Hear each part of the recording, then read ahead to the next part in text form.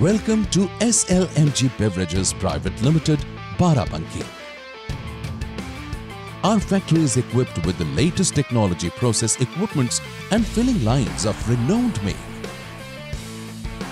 to produce high quality products.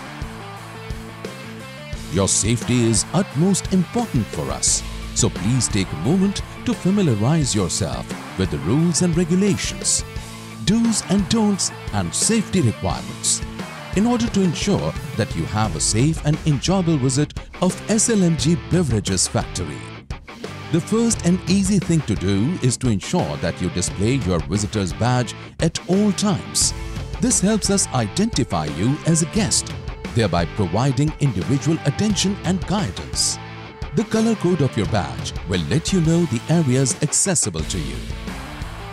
During your visit to our factory, don't forget to wear the visitor badge. Wear shoes to protect your feet. Please wash your hands and wear hairnet during the entry of process area. Stay alert and watch out for moving vehicles while walking on road inside the premises. Use zebra crossing while crossing the road. Do not enter restricted areas and confined spaces. Maintain the speed limit of 10 km per hour while driving a vehicle within the plant premises. Taking photographs and videos are not allowed without prior permission.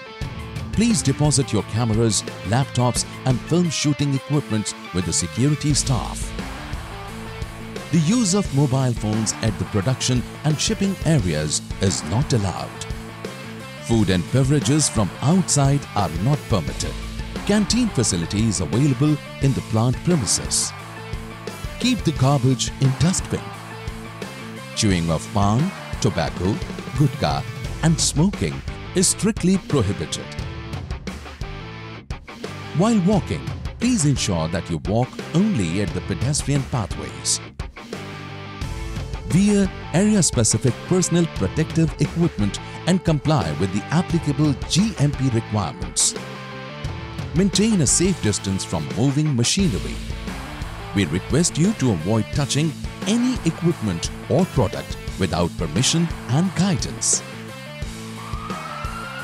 In case of any emergency, you would hear an emergency siren. Please do not panic. Use the emergency exit routes or read your visitor badge's backside to reach the assembly point for further instructions. If you have any doubt, please ask the security or concerned person accompanying you for assistance. One last thing, while leaving the premises, please hand over all issued items to the designated authority. Your safety is our primary concern. Help us to serve you better. We need your full cooperation and coordination to ensure total safety. We appreciate you for sparing the time on safety briefing. Wish you a good day ahead.